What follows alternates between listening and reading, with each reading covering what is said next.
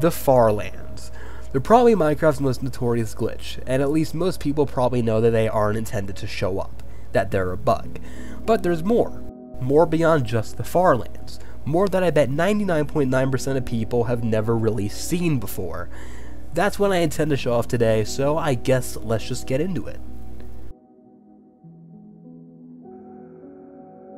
Start. Before we go beyond the Farlands, I should probably explain why they even happened to begin with, or at least why they used to. So in the Minecraft InfDev to beta days, the Farlands patch didn't actually exist yet. So if you went to 12,550,824 blocks out, boom, Farlands. So here's why. So Minecraft generates terrain with Perlin noise, more specifically with a sampling of 171.103 every block. If you multiply 171.103 by 12,550,824, you get roughly 2.147483 billion. Since the highest signed 32-bit integer computers can handle is that number, that's where it overflows. But the thing is, they were never really removed. They were just moved. In beta 1.8, there was a modulo patch that moved the Farlands from 12.55 million blocks all the way to 53.9 quadrillion blocks. And the way we calculate this new distance out is simple. Instead of dividing a 32-bit integer limit by 171.103, you do it with the 64-bit integer limit instead. 9.223 quintillion over 171.103 is 53.9 quadrillion blocks.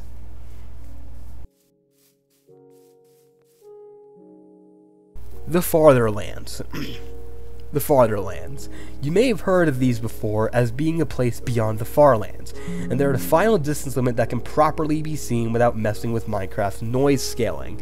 They occur around 1.004 billion blocks away from spawn, and beyond that point is where the Farlands loses all of its detail that it had before. Basically, instead of just a bunch of random patterns, it becomes just a massive line of terrain that occasionally changes to another massive line at a different position. After the Farlands were moved out in Beta 1.8, the Fartherlands got pushed with it. Not to a couple hundred quadrillion, but to 4.3124 quintillion blocks away. And in the 64-bit Minecraft mod that I have for Minecraft 1.2.5, you can slowly see the Farlands slowly repeat and lose all their detail over incredibly large distances. At roughly 100 quadrillion, a little detail is lost, though it isn't too noticeable. At 150 quadrillion, chunks of land start repeating. At 500 quadrillion, that repetition becomes way more noticeable than before, and in chunks of 4 of the same section of land. At 1 quintillion, this repeating pattern stuff is now in chunks of 8 instead of 4, and it's almost the only thing even left in the Farlands. 2 quintillion, chunks of 16, and finally at 4 quintillion, chunks of 32. After 4.312 quintillion blocks, this repetition just stops, and the farther lands take its place. And if you go out on both axes, the repeating chunks are a sort of grid of repeating terrain instead of a line. So if your position was 500 quadrillion x, 500 quadrillion z, you would see repeating sections in a 4x4 grid of chunks.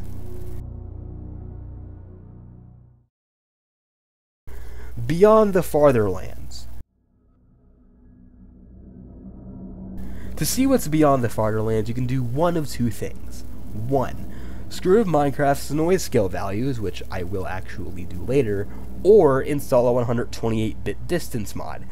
Either way, there isn't exactly much in the way of a proper way to see what's next without doing these, and yes, I did say a 128-bit mod, though I won't really show much of it here. First, to properly see this breakdown without the stripe land showing up, here's a modded 1.12 customized world, the mod was made by Allam A, link in the description for it, that generates these new sections of terrain breakdown. Each block is equal to 1 sextillion whatever axis you go on, out on on this world I have, so keep that in mind. In the center, you can see that beyond one block, the entire area has this whole shattered look to it. That's stage one of what Allam A, the same dude who made this mod, calls the Fringe farther lands. The real Fringe lands actually come later. As far as I'm aware, this is due to something with some sort of noise breaking, and there's actually a way to find out where the farther lands stop generating you first take roughly 179.76 uncentillion, aka 2 to the 1024, then divide it by the interpolation noise of that coordinate. Then if it's on the z-axis, you take the sixth root of that, and if it's on the x, take the fifth root. After that, divide by the Perlin noise sampling every block, so 171.103, roughly. If you teleport to the coordinate, you should see where it stops. The Fringe Farther Lands To see beyond that, you need to go out. You need to go way out. You need to go 8.175 times 10 to the 48 blocks out. That's right, 8.175 quindecillion blocks away. That is an 8 with 48 zeros behind it. What the fuck? Here, uh, there's a sharp change in how the terrain looks with a lot of gaps just being there. And on top of that, sometimes the 128th layer of the world is gone and stone is there instead, though that is probably due to something else. By this point, the terrain wouldn't even properly be visible anymore due to how degraded the stripe lands are. Those actually started way before the far lands even did, at 9.007 quadrillion blocks. That's absolutely nothing compared to this. Actually, compared to the distance I'm at now, the far lands are 0.0000000000000 zero zero zero zero zero zero zero zero zero zero zero zero zero zero zero zero zero zero one one zero one seven seven three percent of our current distance. That's crazy. Stage two. If you thought the first level of degrading was horrible, wait until you see this.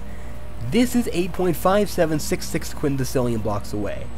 Now, instead of just a few small gaps in, in the terrain, comb-like structures are forming, and they go on for absolutely insane distances.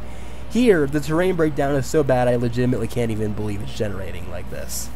The comb-like artifacts are probably due to the interpolation just completely failing, and since terrain is interpolated every 4 blocks, that's why the little strips of land generate how they do, every 4 blocks. And it'll only get worse from here. The true start of the Fringe Lands.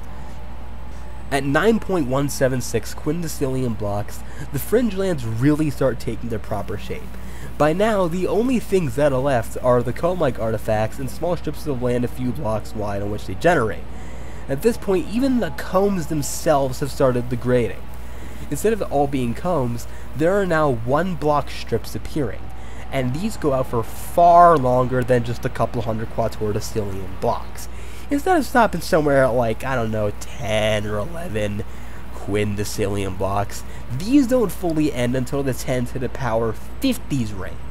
That is over 100 quindecillion blocks there isn't exactly much else to say other than literally what? The last degradation. Now at 10.3 quindecillion blocks away, we can see that the last degradation in the Fringe lands until it starts to thin out completely. What a few moments ago as combs in strips of still walkable, couple block thick land, is now only single block lines of terrain there aren't even really any truly walkable areas anymore, as most of them are underwater, save for the few that are only right above that. The z-axis. This entire time, I've only shown what's on the x-axis. Sure, that's cool, but the z-axis is way weirder than that. First off, instead of degradation starting at 8.175 quindecillion, it starts at more like a 9.176 quindecillion, and way more comb artifacts show up too. Then instead of degrading in stages, as it did on the x-axis, it just starts to simply fade out, just more gradually.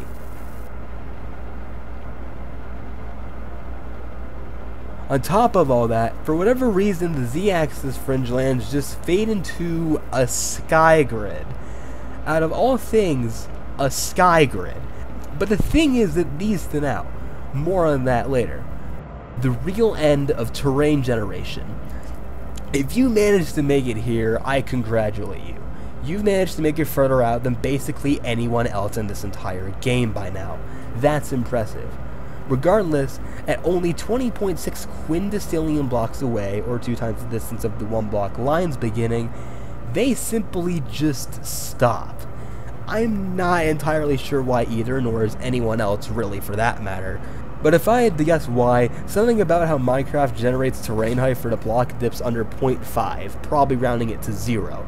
Something like that, or better yet, as Allam said in his videos, his more Perlin noise octaves just give up and collapse. And what's even more weird about all this, other than the bedrock floor and like no terrain generation, is that there is still a couple one block lines generating out here.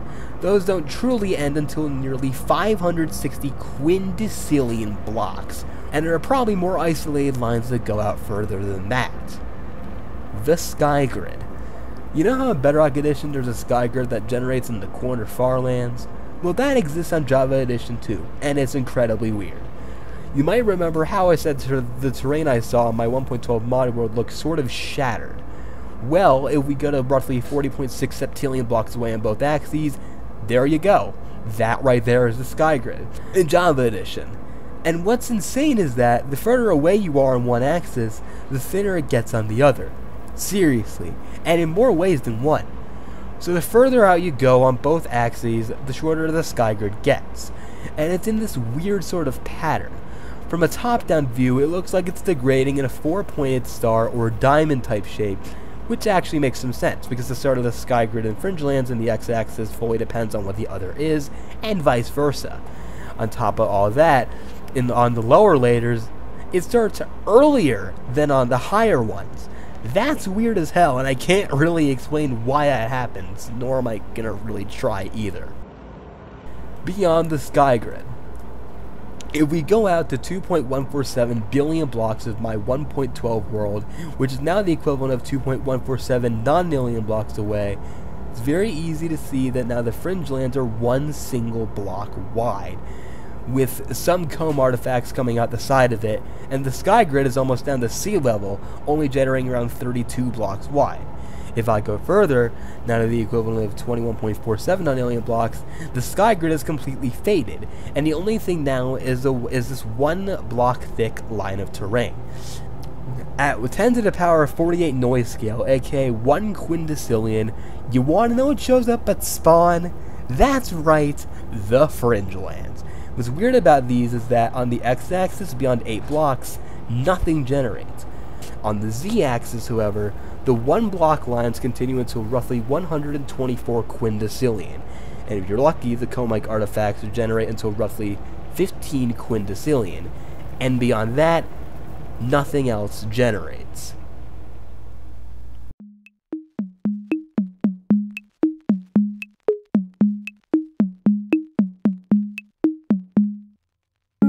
Anyways, if you enjoyed this little deep dive, and I guess not really a deep dive, but it's like you guess you enjoyed this little little video on the far on the Minecraft's distance limits to an extent, and also this what's beyond the Farlands, then I guess I mean if you want you can sub. I mean I post like literally whenever the hell I want, and the only reason I really made this was 3 a.m. motivation. All right, this took me probably way too long to make.